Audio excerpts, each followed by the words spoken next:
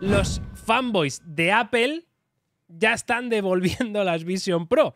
Eh, y ahora me voy a explicar, ¿vale? Porque evidentemente los fanboys de Apple yo considero aquellas personas que el día 1 que se pusieron a la venta las Vision Pro las compraron, ¿vale? Eso yo considero ya que hay que tener un punto de fanatismo alto. Y de pasta. Eh, y de pasta también, eh, que no todos, eh, por supuesto, pero muchos sí. Entonces, Apple te daba 14 días para devolverte el dinero si querías, no estabas conforme con las Vision Pro. Y efectivamente, se cumplen ahora esos 14 días y ya están empezando todas esas devoluciones de los primeros, eh, los early adopters, ¿no? Las primeras personas que han comprado las Vision Pro y nos han dado, evidentemente, los motivos por los cuales eh, pues no se han quedado con las Vision Pro. Y la verdad que hay motivos de todo tipo, de toda índole, desde el peso, que esto lo hemos hablado mucho, que son incómodas al, hacer largas jornadas. Incluso hay gente que habla que no puede estar más de 10 minutos con las Vision propuestas. El Rubius estuvo 24 horas. A mí que no se me quejen. ¿eh? tenía unas marcas luego al día siguiente espectaculares. O sea,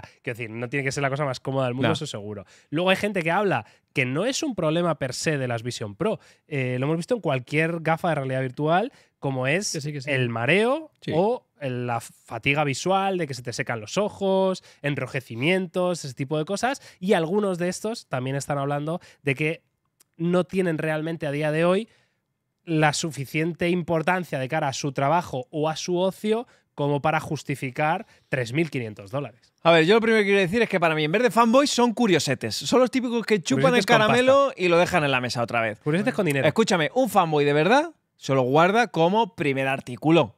Joder, es como tener un iPhone, ¿sabes? un iPhone primera generación. Tener la primera generación. Eso es un buen fanboy. De aquí a 15, 20 años, ojo. Ese es el curiosete, el que dice, a ver esto, que lo pongo aquí, que lo pongo a plazos, ¿sabes lo que quiero decir? Y después lo devuelvo.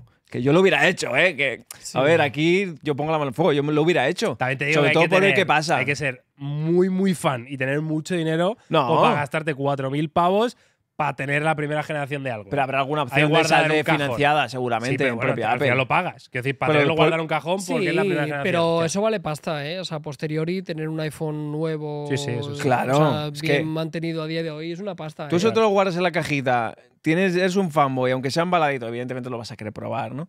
Pero si tienes la posibilidad de guardarte eso un baladito de eso dentro de 10 años. Lo que tiene que valer es un chorreo, ¿eh? Yo, o sea, entiendo lógicamente que esto suceda, por, pero como creo que pasará con muchísimos artículos relativamente caros de, electrónica de consumo. Yo creo que si fuéramos un gran establecimiento, o tú, Miguel, que has trabajado, no sé si era muy habitual el tema de devoluciones, otros nada, que mucha gente venía con productos de electrónica. Creo que esto es habitual, ¿no? Que llegue la gente, sobre todo con un coste alto, oye, pues mira, no es lo que esperaban, no es lo que necesitaban, lo he probado, está bien, haces uso de tu derecho como consumidor, que tienes todo el derecho del mundo a poder probarlo y poder decir, oye, no es lo que quiero, lo devuelvo y aquí a funcionar. Totalmente, sí. La verdad que no tiene, la historia no tiene mucho más allá. Es simplemente, bueno, que tengamos claro que esto evidentemente pues iba a pasar, que hay gente que aún así se ha sentido decepcionada con todo esto, que nosotros todavía no lo hemos probado, que acabamos de decir que las vamos a probar y que eh, pues quién sabe, ¿no? Es, depende un poco del prisma eh, que, utilices para mirar las Vision Pro. Lo puedes mirar desde un punto de vista pragmático, mega productividad y que efectivamente no te cuadren, o lo puedes mirar con un prisma un poquito más ilusionante de cara a futuro, eh, que quién sabe, ¿no? Con futuras actualizaciones, pues evidentemente lo que ahora no es 100% mega útil, igual acaba siéndolo, o lo que antes no te volaba la cabeza, igual acaba haciéndolo, ¿no? Entonces, bueno, hay que ver, hay que ver con todo esto lo que, lo que pasa. Lo que sí podemos decir es que lo vamos a probar dentro de poquito. Sí, y luego también lo decíamos antes así, antes de empezar a grabar, y, y que mucha gente, sobre todo hoy en día que vivimos de las redes sociales, habrá un número muy grande de gente que los habrá comprado, habrá generado contenido. Y para afuera. Habrá salido en la calle, en el centro comercial, conduciendo habrá generado en algunos casos unos buenos cientos o miles de euros con reproducciones, depende de qué cuentas, y habrán dicho, bueno, ya está, ya está todo el pescado vendido, ya he hecho todo lo que puedo hacer con la Vision Pro. Hombre, yo realmente si he generado 100.000 euros me las quedo ya. No. O sea, lo que decir, en plan, me las quedo pues, por si acaso, por el que dirán. ¿no? Pero en cuentas muy gordas, o sea, cuentas muy grandes, que en este caso le daré igual porque es un dinero que tienen, se lo pueden permitir y tal. Habrá gente que lo ha podido rentabilizar, sobre todo en Estados Unidos, Yo creo que más gente que quiere hacerse virales. Los típicos que van a por la calle, estos que no les conoce nadie, que han, se han hecho un viral, y ya está, a lo mejor después lo devuelven y punto. Solo por la gracia, es lo que te digo, son los curiosos. Esa gente son los curiosos, los que la compran, se la ponen, se hacen cuatro fotos por ahí, se graban cuatro vídeos y dicen, ¿qué he hecho yo gastándome este dinero?